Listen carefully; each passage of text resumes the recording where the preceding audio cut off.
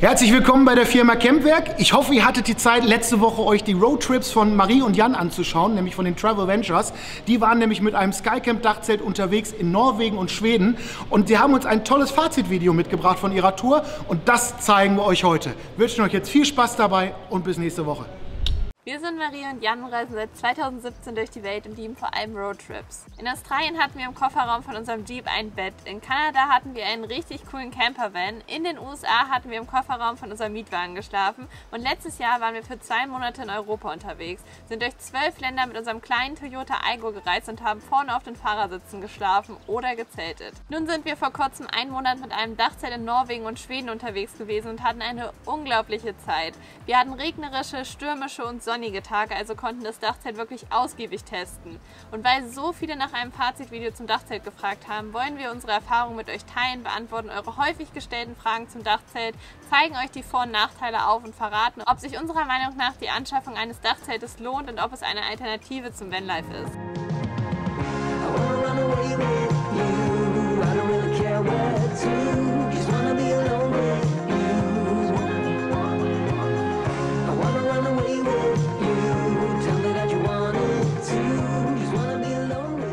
Falls ihr euch für Reisetipps interessiert oder euch für die nächste Reise inspirieren wollt, dann abonniert uns doch gerne kostenlos und aktiviert auf jeden Fall die Glocke, um kein weiteres Video zu verpassen. Beginnen wir gleich mal mit ein paar Fakten. Und zwar hatten wir ein Hardshine-Dachzelt und zwar das iCamper Skycamp. Das Dachzelt haben wir netterweise für die Reise von Campwerk gestellt bekommen, deswegen steht hier oben jetzt auch unterstützt durch Campwerk.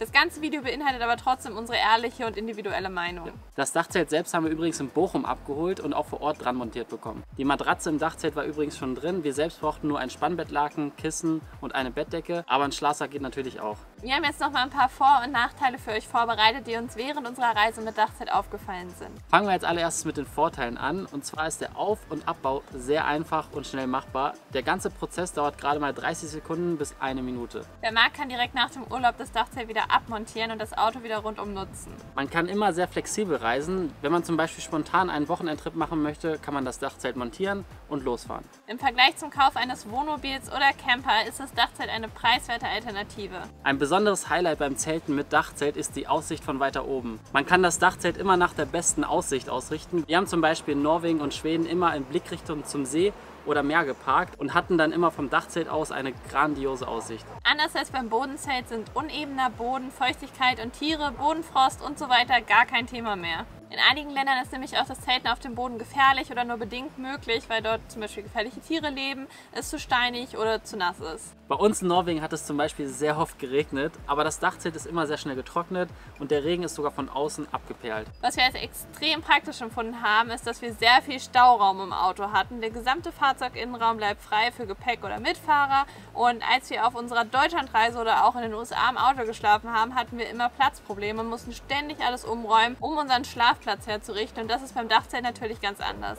Bettzeug und weitere Kleinigkeiten lassen sich auch während der Fahrt im geschlossenen Dachzelt lagern. Was uns positiv überrascht hat, ist der hohe Komfort, den so ein Dachzelt bietet. Wir haben ja nun einen Monat darin geschlafen müssen zugeben, es war sehr bequem. Auf Fähren, Campingplätzen, Parkplätzen oder auf Mautstraßen zahlt man meist den niedrigen Tarif. Außerdem haben wir die Erfahrung gemacht, dass man definitiv auffällt und so mit vielen Menschen ins Gespräch kommt. Manche Orte oder auch Stellplätze sind mit einem Wohnmobil nicht erreichbar. Mit dem Auto plus Dachzelt kommt man hingegen nahezu überall hin. Und zu guter Letzt, man kann fast überall kostenlos schlafen. Wir haben in Schweden nur auf kostenlosen Stellplätzen geschlafen und hatten diese dann auch fast immer für uns ganz alleine. Also man hat je nach Land sehr geringe bis gar keine Kosten für Stellplätze. Kommen wir nun zu den Nachteilen. Der Spritverbrauch erhöht sich leicht, aber nur minimal. Ein weiterer Nachteil ist, dass es durch Windgeräusche beim Fahren etwas lauter ist, aber wir würden sagen, man gewöhnt sich daran.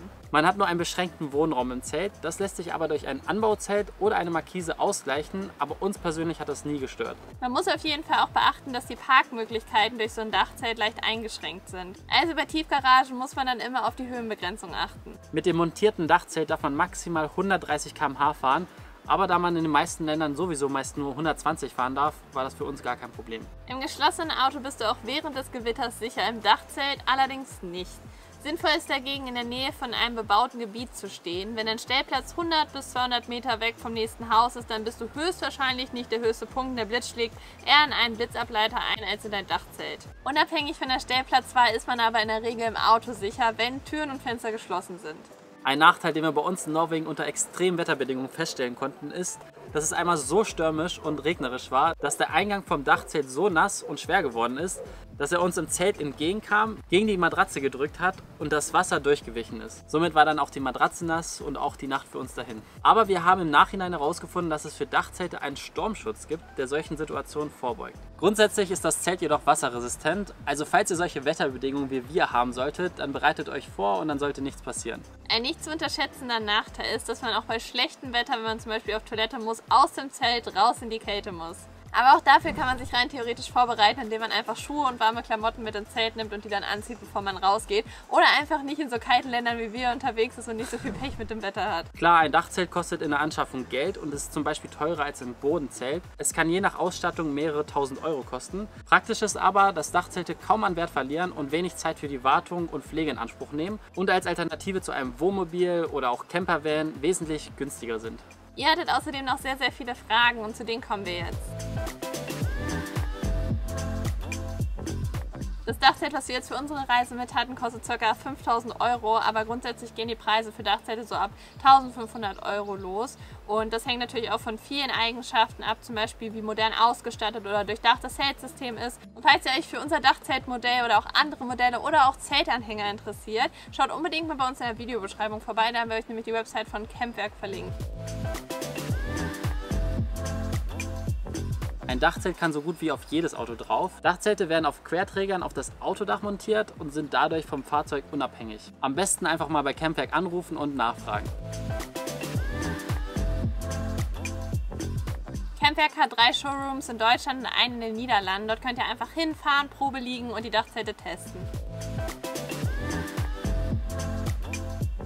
Für Alleinreisende, Familien, Pärchen oder für all diejenigen, die Camping begeistert sind und dabei nicht an Komfort einbüßen oder zu tief in die Tasche greifen wollen. Ein Dachzelt macht all das möglich und dies zu einem Preis, der weit unter dem Anschaffungspreis eines Campers liegt. Dazu mit einem Komfort, der weit über dem eines konventionellen Zeltes liegt. Aber natürlich ist es auch eine tolle Lösung, wenn man zum Beispiel einen Bulli hat, das Dachzelt oben drauf packt, um dort Leute nächtigen zu lassen.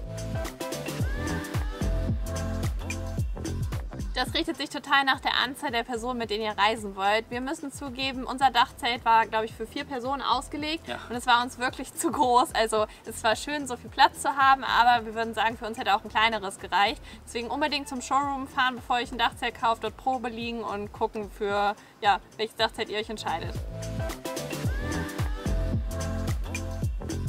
Also entweder kannst du das Dachzelt abmontieren oder wenn du keinen Platz fürs Dachzelt hast oder das ganze Jahr über campen willst, dann kannst du es auch einfach drauf lassen.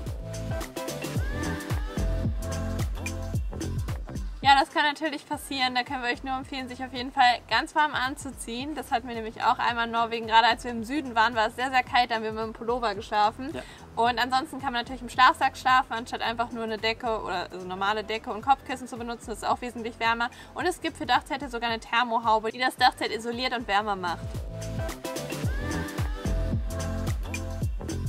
Wir hatten in Norwegen starke Stürme mit extremen Windböen. Im Zelt selbst merkt man schon, dass es draußen stürmisch ist. Aber grundsätzlich würden wir euch empfehlen, das Zelt so auszurichten, dass ihr den Wind nicht frontal abbekommt.